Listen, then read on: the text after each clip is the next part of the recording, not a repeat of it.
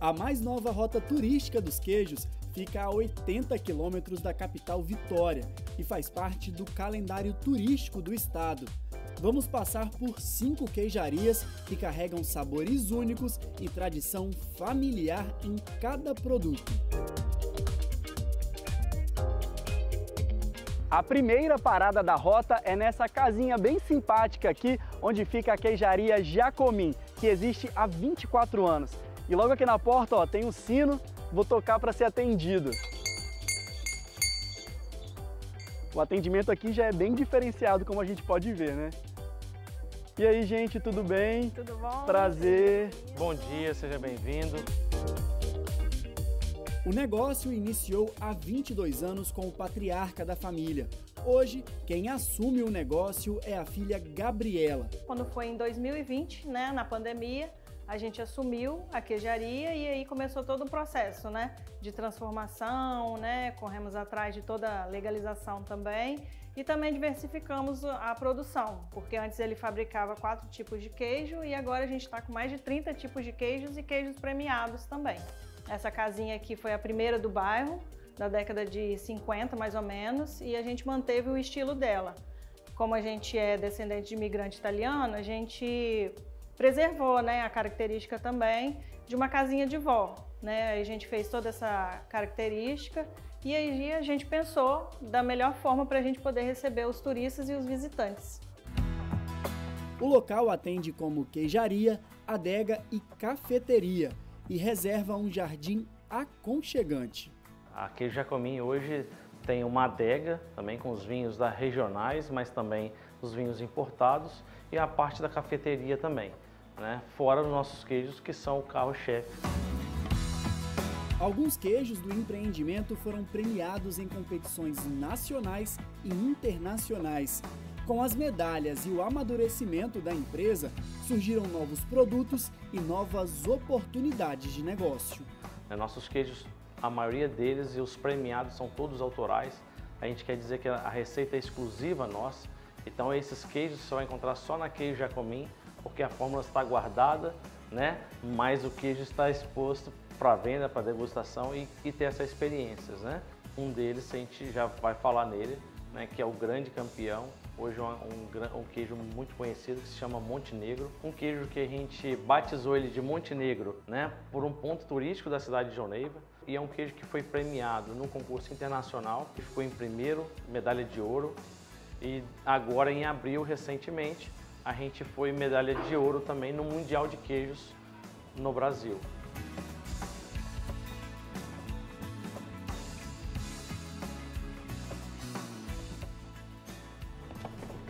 E a gente vai conhecer agora o queijo do trevo e por aqui cerca de 150 quilos de massa são produzidas por dia. Com essa quantidade de massa produzida aqui, dá para imaginar a variedade de queijos artesanais produzidos. São mais de 10 tipos e todos eles já estão expostos aqui.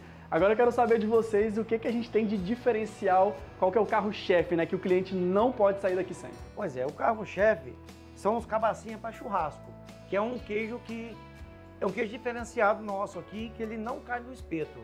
Tem dele tradicional, tem dele defumado, com ervas, é, com ervas finas, com goiabada, com bacon. Depois temos também queijo comum, o tradicional.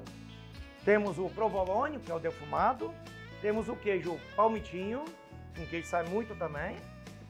Queijo coalho, que também é para churrasco, que tem uma saída muito boa. E a gente vê algumas coisas diferentes aqui também. Por exemplo, esse que tem bacon, esse com salaminho, Isso. esse outro aqui que tem um pouco de cada um para experimentar. É, esse né? aqui são os quartetos, no caso, né? Ele tem quatro sabores, né? Ele com ervas finas, defumado, tradicional e no vinho. Com a presença da queijaria na rota, o comércio alavancou em vendas. Isso é muito bom pra gente no geral, porque alavanca até o turismo de João Neiva e tudo mais. O pessoal vem de Vitória, Colatina, Linhares. Isso é muito importante para a gente, espero que continue eternamente essa, essa rota. Além dos queijos, a loja comercializa uma variedade de cachaças, massas frescas, salaminhos e vários outros produtos artesanais. Tudo isso de fabricantes capixabas. Agora vamos seguir a estrada porque ainda temos algumas queijarias para conhecer.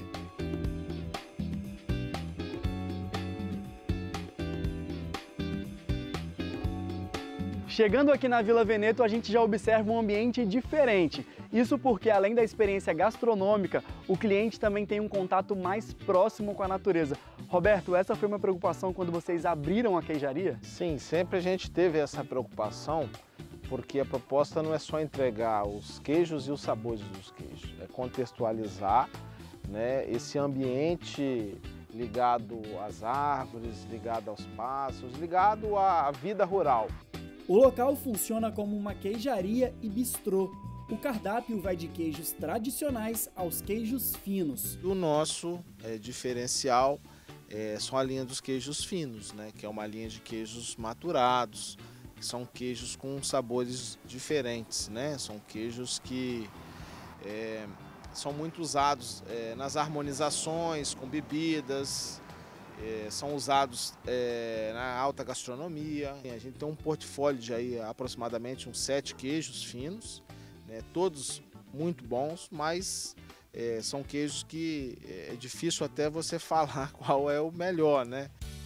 Ao lado do movimento da BR, o negócio funciona como um refúgio, com tranquilidade e um cardápio recheado de produtos fresquinhos.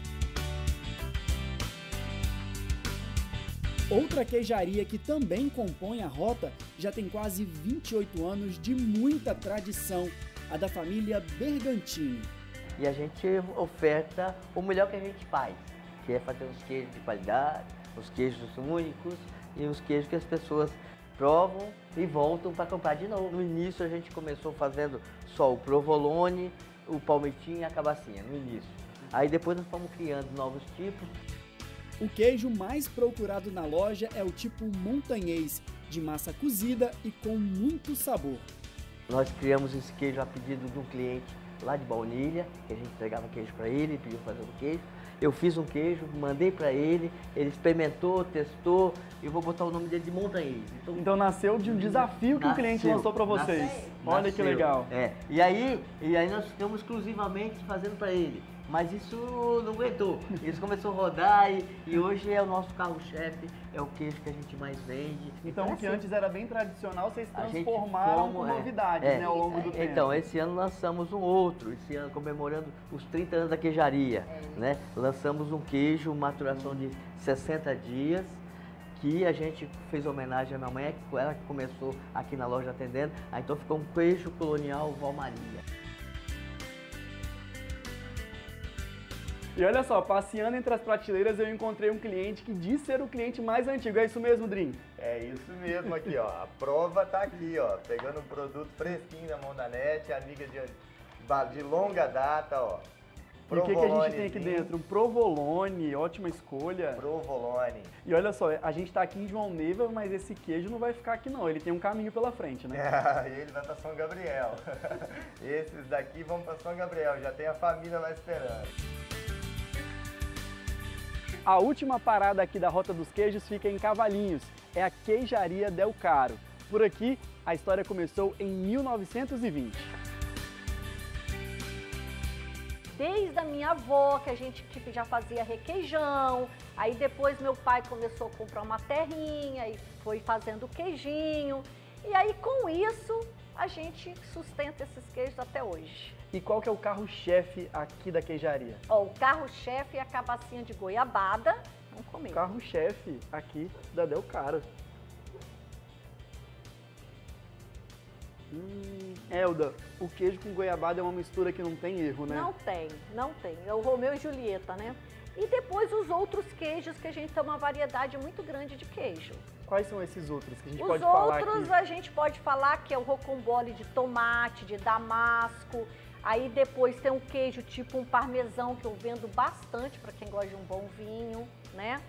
E tem uma trança que é famosa porque é uma variedade grande de temperos e as pessoas gostam. Estar aqui é como mergulhar em um livro de histórias, recheado de boas lembranças e um gostinho especial de queijo. A Elda que administra a loja ela faz parte da quarta geração que assume os negócios da família. Meu avô comprou em 1920 essa loja, aí foi passando de bisavô, de avô para pai. E aí tô eu, estamos nós agora, né, aqui nessa loja aqui.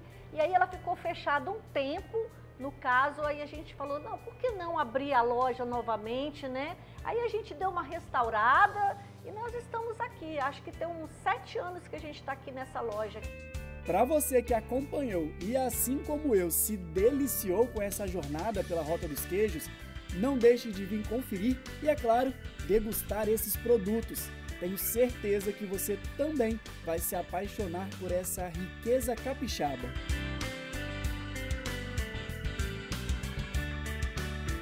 Hoje a Rota dos Queijos hoje atrai muitos turistas. Aqui em nossa loja mesmo nós já recebemos é, clientes, turistas de vários estados do Brasil e também fora do Brasil. Agora com a Rota do Queijo, graças a Deus a gente tipo assim evoluiu bastante, nós estamos assim super empolgados, né? E cada vez tentando fazer o melhor. Ficamos mais visíveis, fomos mais divulgados, né, Matheus? Então isso aí com certeza, hoje onde a gente vai, todo mundo conhece Rota dos Queijos de João.